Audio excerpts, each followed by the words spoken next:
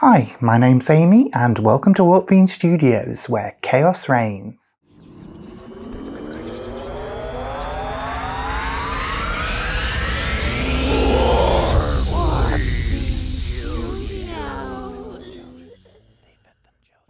I recently had my first game of 9th edition 40k and my Black Legion got wiped out almost to the last man by my friends Ultramarines.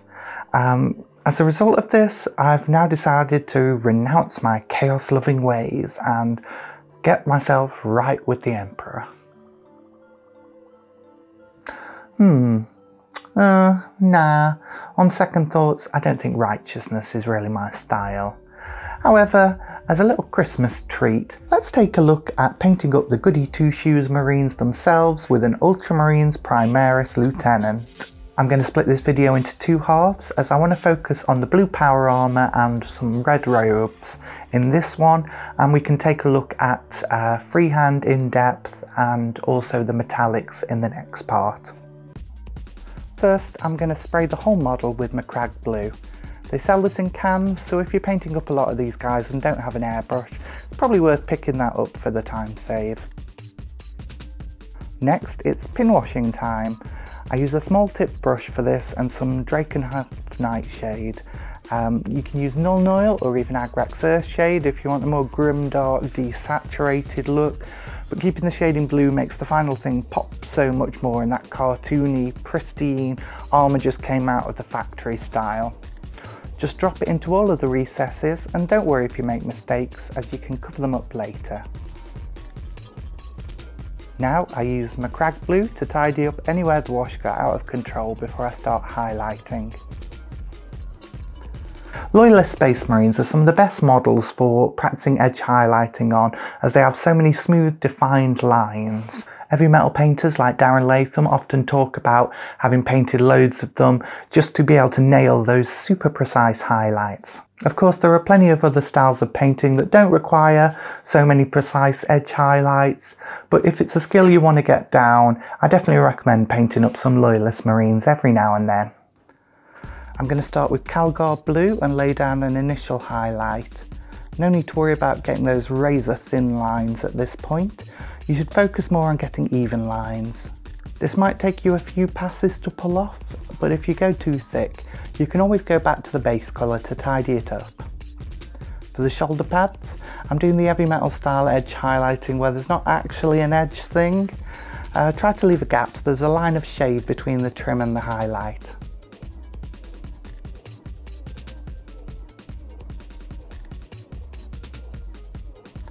Next I take some Fenrisian Grey for my second set of highlights. I use some Liquitex Flow Aid with this to help it run off my brush. Now this is optional but I find it really helps with edge highlighting to get consistent flow of paint. Just remember to wick off your brush on some paper towel or it could run everywhere. This time I stick within the lines I've already done and make the highlights thinner. It's easier to get those very thin lines when you have the thicker line as a guide. With this highlight you can ignore some of the areas of the model that naturally catch less light.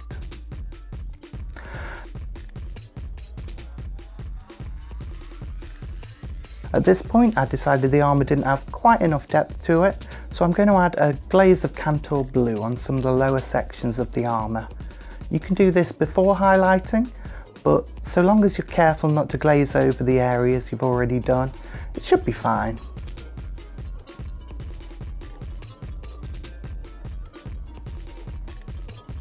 After this, I take some Arctic Blue and hit some of the brightest highlights.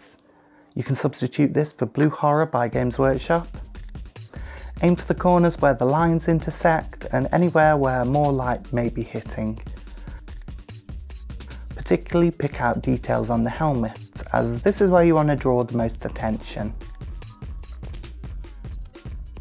Well, that's how I paint Ultramarines power armour. So next up we'll take a look at the red robes and the other details. I based the robe, the scabbard and the shield with Mephiston red. This is slightly different to the official scheme, but I think the red will make him stand out as a character. It may contradict the Codex Astartes though, so if this angers any Ultramarines purists, uh, please leave me a comment calling me a filthy heretic. I also paint a quarter of this tilting shield in red at this stage.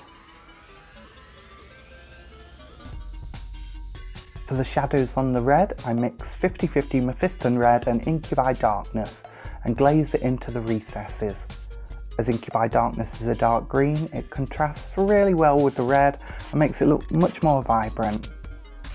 I'm going to glaze it with very thin layers as I want the transition to be as smooth as possible.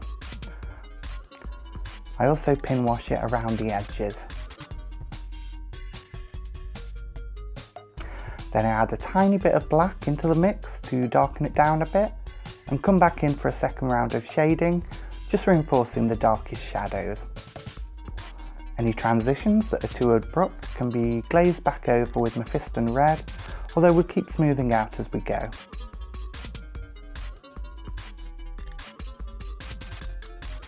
A 50-50 mix of Mephiston Red and Evil Sunz Scarlet next, kept very thin. Run it over the raised areas now on the cloth and very carefully over the higher areas of the shields and scabbards.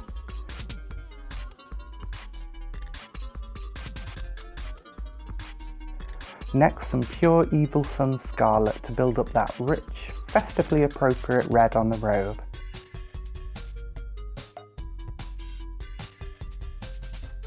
You'll just need a small amount of this on your shield and scabbard.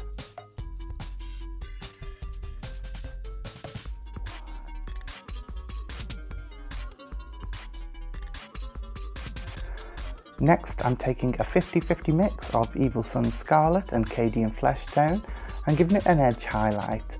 On these softer folds, it's less an edge highlight and more of a line down the highest parts of the cloth. Keep your hand very steady by bracing yourself on your desk when painting these, although the first one doesn't have to be too precise.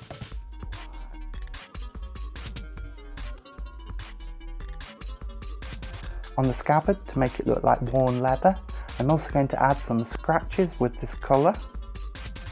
As the rest of the marine is so clean, I want to contrast that with some texture on this part.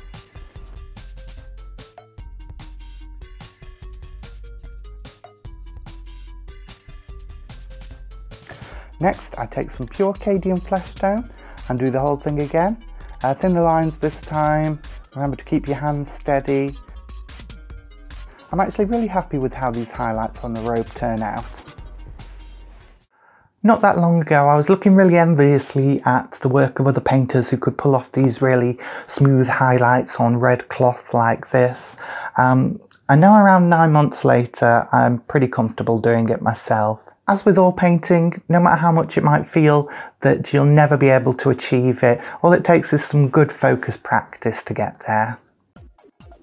Finally, we take some Kislev flesh and put some tiny dots here and there.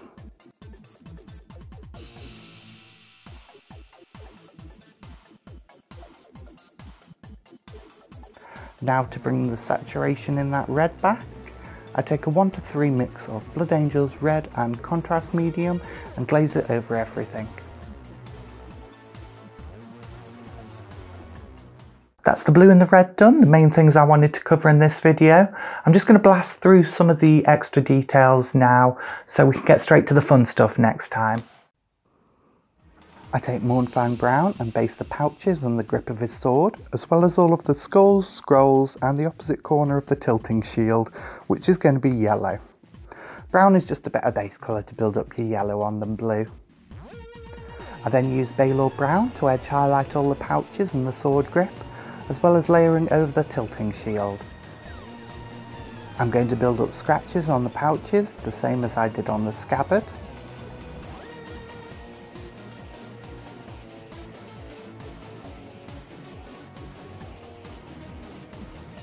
Then I hit the pouches and the sword grip with the final highlighted screaming skull.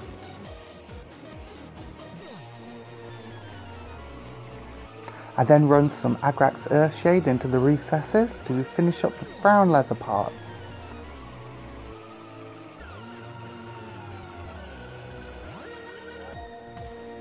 I take some Zandri dust and go over all the skulls and scrolls, leaving brown showing in only the very deepest recesses.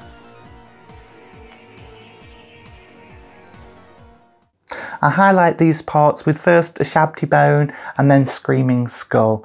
Um, if you've been following this far, I hope you're able to figure that out yourself because I accidentally did not record the footage. I finished up those parts with some dots of pallid wych flesh. Then I take some black and go over the undersuit, the cross on the shield and the belt, as well as running some into the eye sockets and rebasing all of the parts that are going to be metal.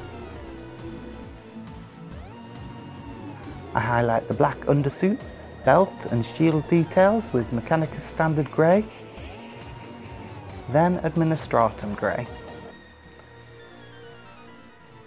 I base all the wax blobs on the Purity seals with Screamer Pink, then give them a quick drop of Agrax Earthshade.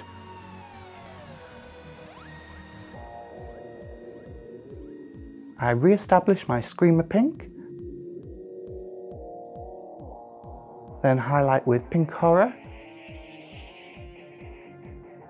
Cadian Flesh Tone, and finally a couple of dots of Kislev flesh.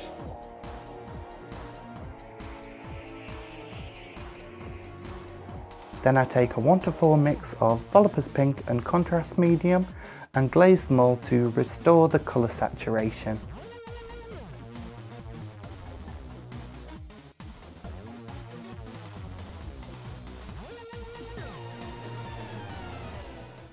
Well, that's part one of my Ultramarines Primaris Lieutenant. I hope you enjoyed that and return for the next one, which should be dropping around New Year's Day.